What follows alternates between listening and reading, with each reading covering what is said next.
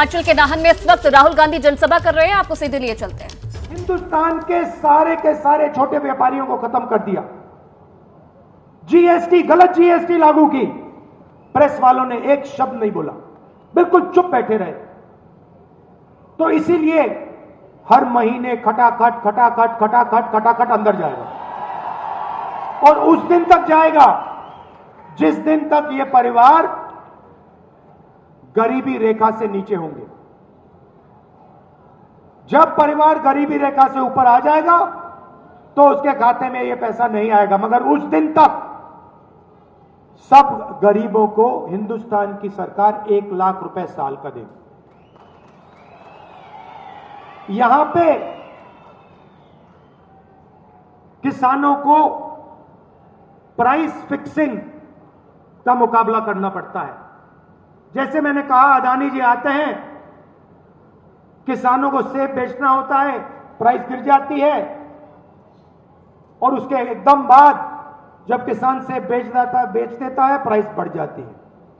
यह हालत पूरे देश में है। किसान जाते हैं, मार्केट में जाते हैं, कुछ भी खरीदते हैं, शर्ट, पैंट, मोबाइल, फ़ोन, उस पर प्राइस लिखी होती है। मगर किसानों को सेब के लिए, अनाज के लिए, गेहूँ के लिए, कपास के लिए, धान के लिए सही दाम नहीं मिलता है। सही बात है ना?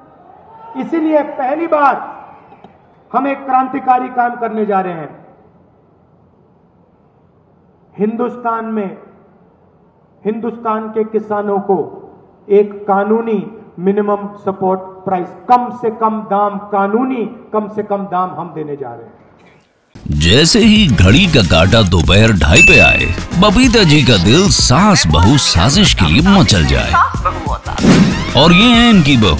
पूरे दिन ऑफ़िस की टेंशन हो जाए गॉन जब ये करें अपना फेवरेट शो फ्री टाइम पे ऑन इनकी तरह आप भी देखिए अपना फेवरेट शो अपने टाइम पर। और डाउनलोड कीजिए एबीपी लाइव ऐप अपने स्मार्ट टीवी पर।